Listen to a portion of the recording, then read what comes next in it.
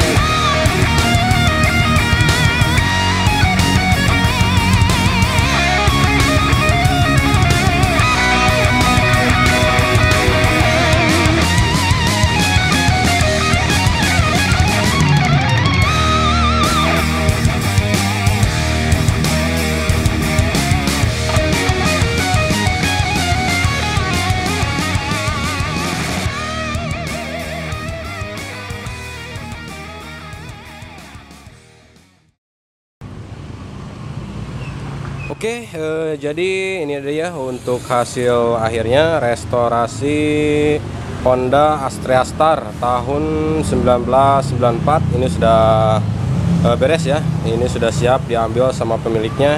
Jadi ini motor eh, bisa dipakai ngabuburit ya. Nah, untuk tampilannya seperti ini. Ini sudah kita full cat ya untuk bodinya dan ada beberapa part yang enggak kita ganti ya dikarenakan kita menyesuaikan budget. Nah ya untuk yang kita ganti yang paling utama itu ada di bagian eh, Mika Speedo ya.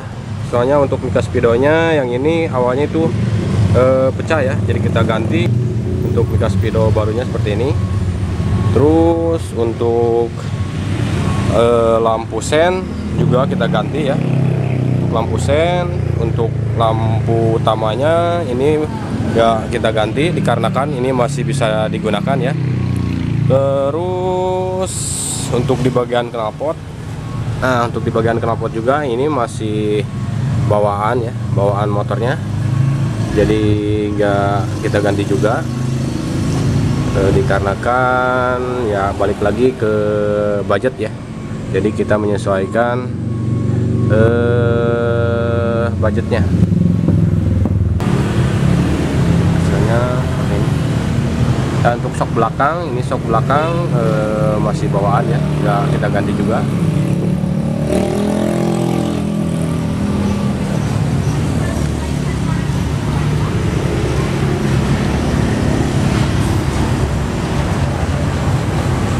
Oke, jadi untuk di video kali ini eh, cukup sekian ya. Mudah-mudahan video ini bisa bermanfaat buat teman-teman semua. Dan jangan lupa eh, bantu terus channel Kimotor dengan cara subscribe eh, channel Kimotor. Assalamualaikum warahmatullahi wabarakatuh. Hatur nuhun.